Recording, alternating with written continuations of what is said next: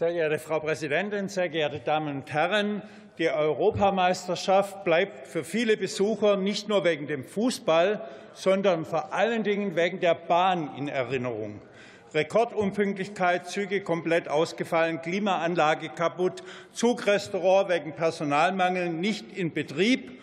Hunderttausende Fußballfans aus aller Welt teilten die Alltagserfahrungen der Bahnfahrenden in Deutschland. Die Bahn ist marode, und Sie, Herr Wissing, tun zu wenig, um sie wieder in Form zu bringen. Die Bahn ist im Zangengriff zwischen unzureichender Finanzierung und einer verwüsteten Infrastruktur gefangen. Digitalisierung der Schiene in Frage gestellt. Stuttgart 21 ein Milliardengrab. Selbst ihr kostbares ihre Belegschaft, die den Laden noch am Laufen gehalten hat, zweifelt zunehmend an ihrer Zukunftsfähigkeit. Dass der Bahnvorstand 30.000 Stellen kürzen will, ist absurd, falsch und verunsichert das Personal.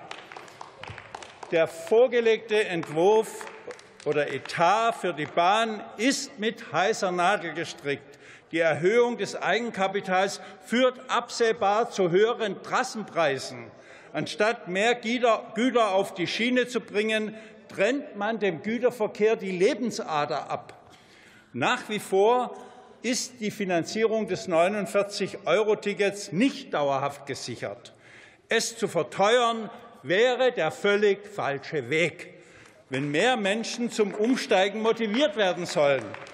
Besonders kritisch für Studierende wird das 49-Euro-Ticket teurer, kippt das System Semesterticket. Und was ist da eigentlich los, dass man von der angekündigten Modernisierung und dem dringend nötigen Ausbau des ÖPNV gar nichts mehr hört? Die angekündigte Transformation zur Elektromotorisierung des Pkw- und Lkw-Verkehrs läuft Gefahr, an die Wand zu fahren. Und das Ziel, 15 Millionen Elektroautos bis 2030 auf die Straße zu bringen, rückt in weite Ferne. Es ist eine Kampfansage an Belegschaft und Betriebsrat, dass VW trotz Milliardenrendite Personalkürzungen und Werkschließungen ankündigt. Eine Unverschämtheit. Wir haben hier an dieser Stelle vergeblich vor der mangelhaften Konkurrenzfähigkeit der Automobilindustrie und der Untätigkeit der Konzernleitungen und der Regierung gewarnt. Und wer jetzt als Reaktion darauf die Lebensdauer der Verbrenner verlängern will, gefährdet die Zukunftsfähigkeit der Automobilindustrie und damit Arbeitsplätze. Die Koalition ist mit vielen Vorsätzen gestartet. Ihr Haushaltsentwurf ist bestenfalls ein Pflaster auf die Wunden der Verkehrsinfrastruktur.